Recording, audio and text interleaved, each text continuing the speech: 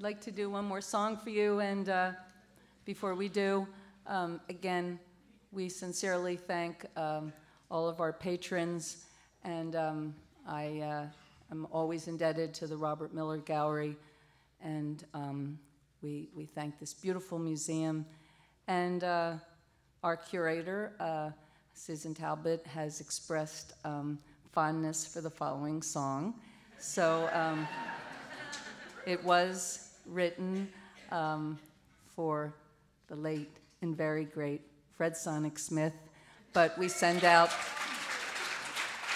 a little salute to Susan, and I hope you all had a great time, and please support the museum.